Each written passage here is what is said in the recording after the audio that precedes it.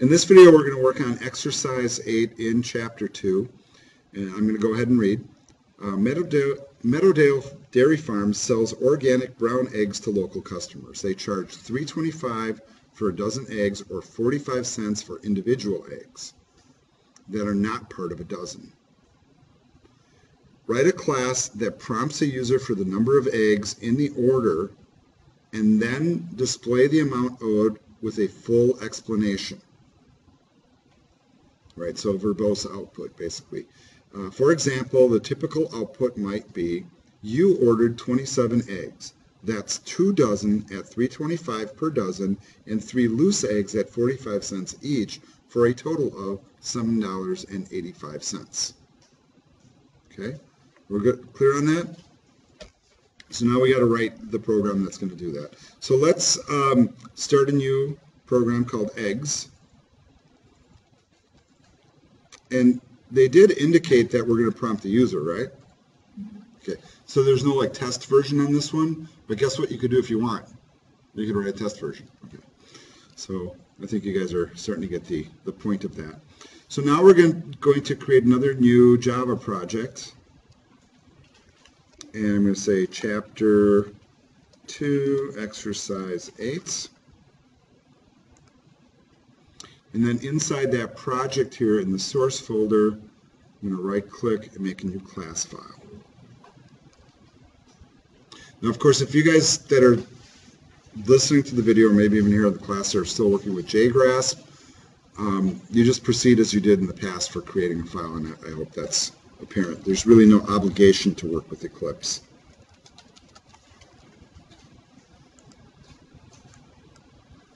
But it I'm is a nice utility, though. What's that, Sean? It really is a nice utility, especially how it, you know, it uh, imports uh, the uh, scanner util import and all of that stuff. It seems like a really efficient application. It is. It is. And, um, you know, it's not quite as slick as Visual Studio is, uh, but close. And it, it's got some features that Visual Studio doesn't. I like the direct tie-in to all the libraries and the explanation of all the methods that are built in. Yeah. You'll find that pretty uh, uh, darn handy as you work. All right, so let's go ahead. We got our main method here, and what we need to figure out is the math.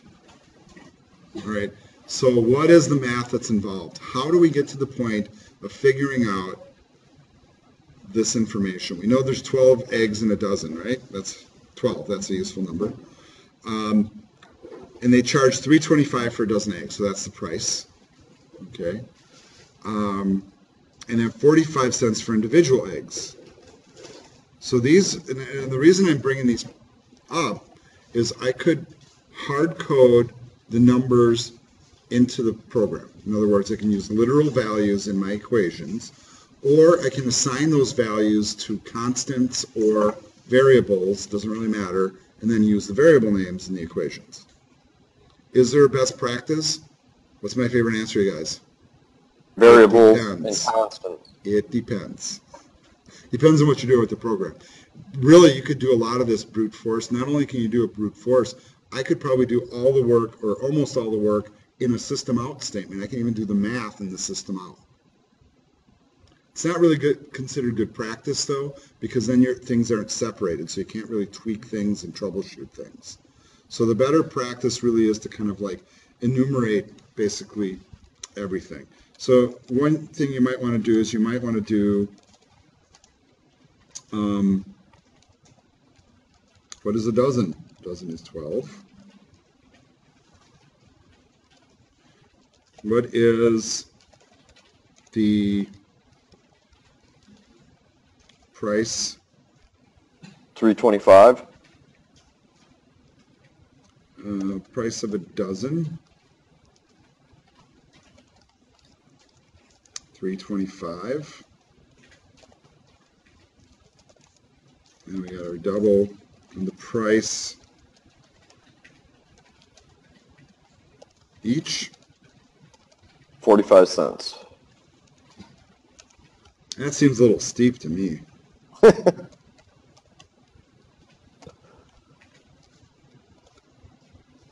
eggs are so nutritious, it's totally worth it. All right, so these are these are values that are kind of given. They really shouldn't be changing, right?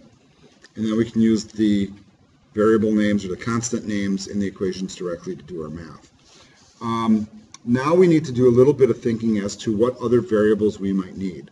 The one that pops in my head right away is we are going to need to have a total price, right? So let's just call it total. We don't need to give it a value. And then you're going to need subtotal for dozen and subtotal for the eaches. Do we now? And I'm, I'm listening to what Sean's saying, and he's thinking that we should have subtotals for the individual eggs and the dozen. I'm going to skip that approach, but I understand where you're, where you're going because I think that might be too many. What I do want to do though is, what's that? Is that a bit of overkill on that? Yeah, slightly. Okay. I mean, I could argue that hard coding constants for the price of the dozens and the eggs and how many are in a dozen is kind of overkill, honestly. Interesting. You know, is there a right and a wrong? If you get it to work, it, it's good. If you're building a giant application where you're doing all sorts of stuff, then you really do want to have the separation of things. That, that helps a lot when you're writing code. But I think it depends on how many people are looking at your code as well. I agree.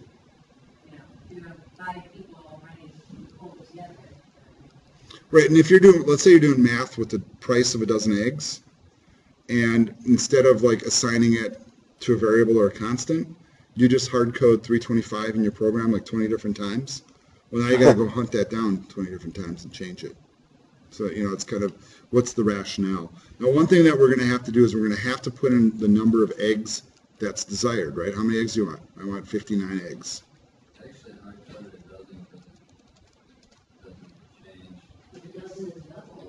Well, that's what, that's my first constant up there.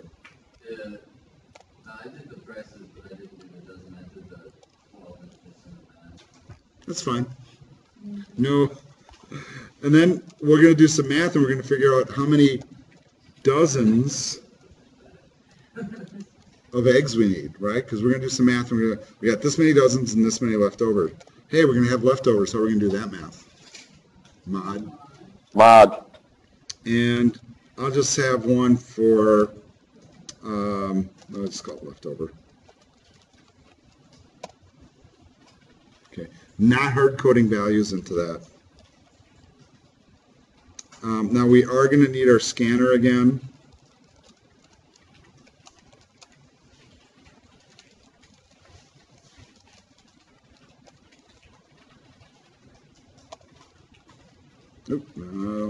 Sorry.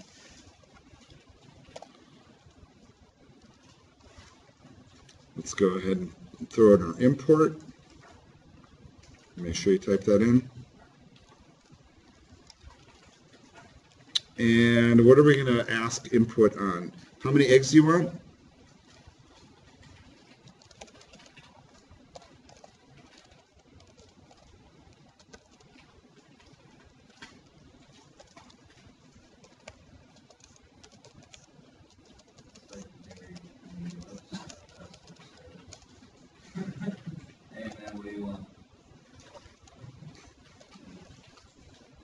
You might make it colorful. You go, dude. How about that?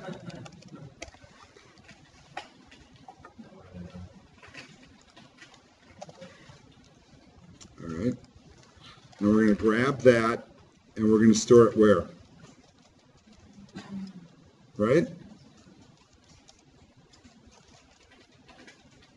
And what's my command here? Next. Int, right? You just want a whole, a whole number of eggs. Okay, next. What's our math? Somebody says I need 59 eggs. What are you doing? 59 divided by 12. Divided by 12, right? All right. So we'll take, dozen, yeah. yeah, so what we're trying to sell for is dozens. How many dozens do we need? Well, we're going to take the number of eggs and we're going to divide by a dozen. Uh, you know, that one's kind of a dumb one to hard code, honestly. But now the work is done, so. right? I mean, I just type in 12 and be done with it. I'm trying to demonstrate a concept here. really. All right. Now, how do we figure how many eggs are left over? You're gonna do fifty-nine mod dozen. Your eggs mod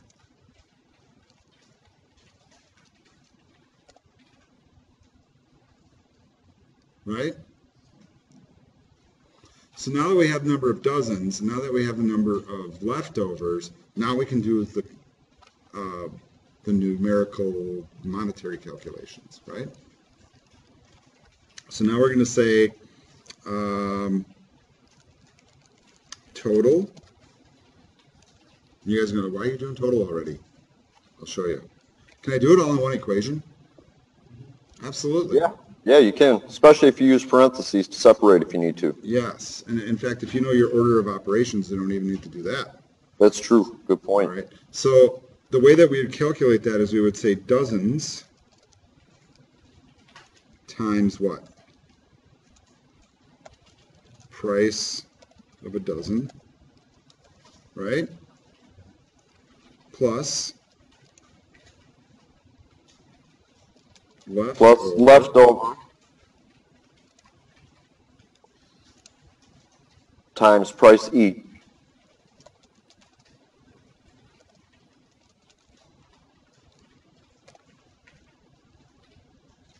Is that right?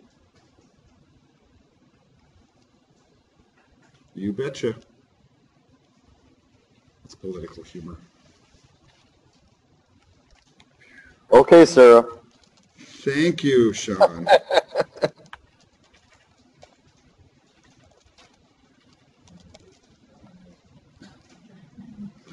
now, just before we started here, somebody posed the question, and a very valid question, because you think back to your Visual Basic days and how you format currency in a command, and how do you do that with Java?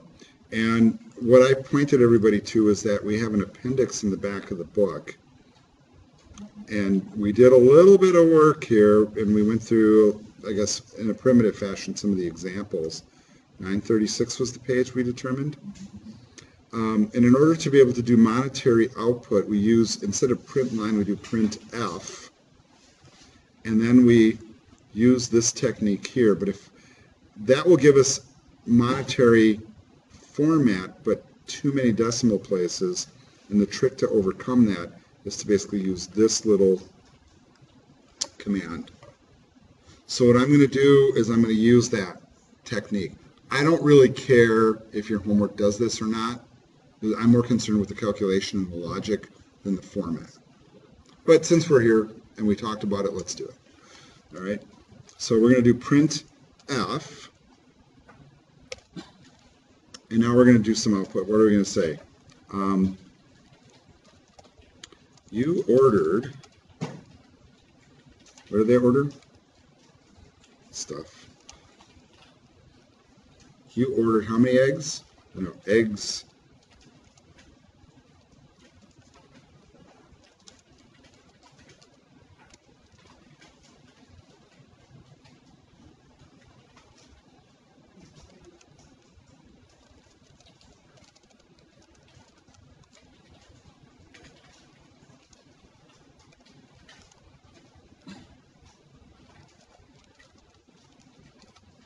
How many dozens, right?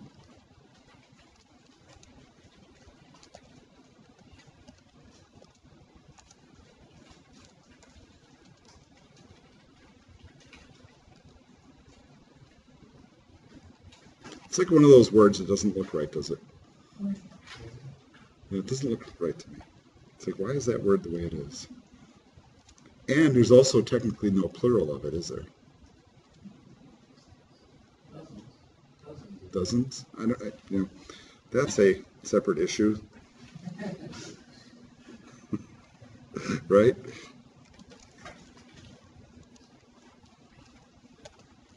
I'm just moving to the next line for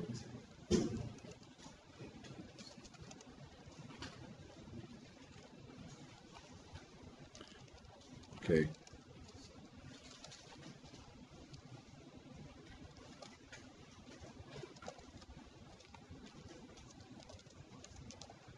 I'm just trying to remember what, what they said in the example, per dozen.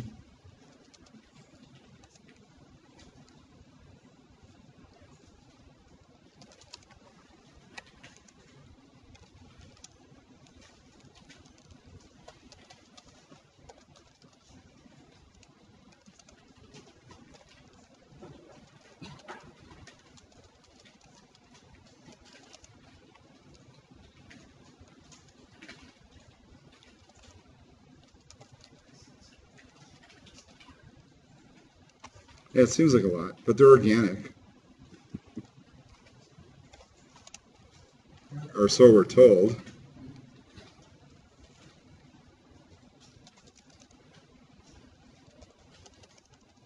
Yeah, that's not a good one two use there.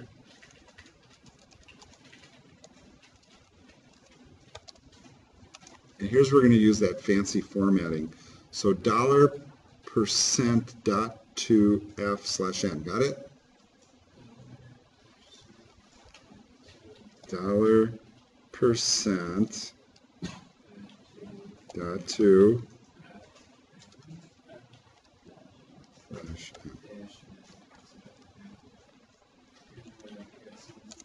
And then we need to output the thing that we want to display which is total. All right and hopefully this is what you have Is this look okay to you guys? All right. Should we see if it works? Let's live large. How many eggs would you like? Now they gave an example in the book. Maybe it's wise to follow their example.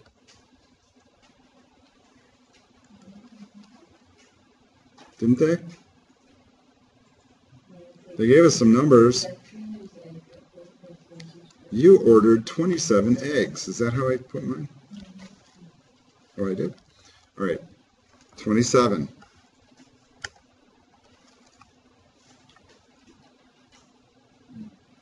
It blew up.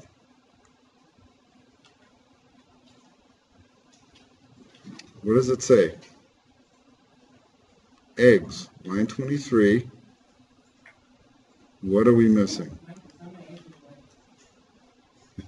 You ordered eggs, eggs which is plus dozens, dozen at 325 per dozen, and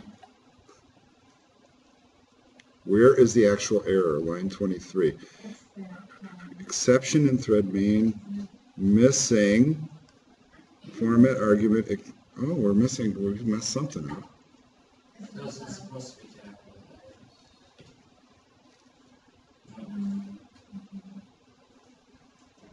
See, like these guys debugging here on the fly.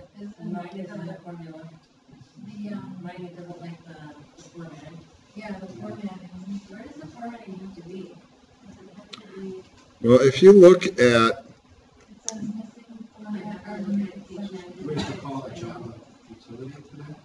do we?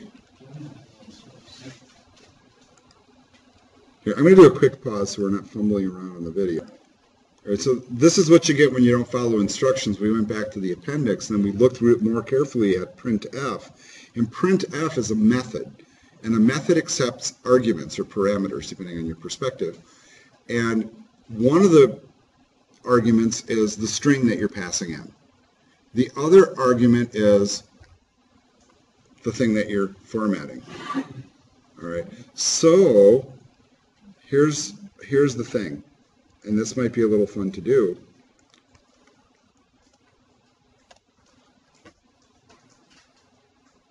You see that?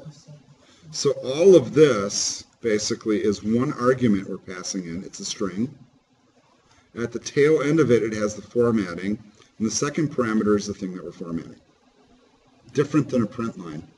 So let's save that, cross our fingers, and watch the magic happen. So how many were we typing in there? 27? All right, folks. And that's going to be all we can do for tonight because we are well out of time, as usual. Sorry, advanced PHP people. Um, And this video ends here.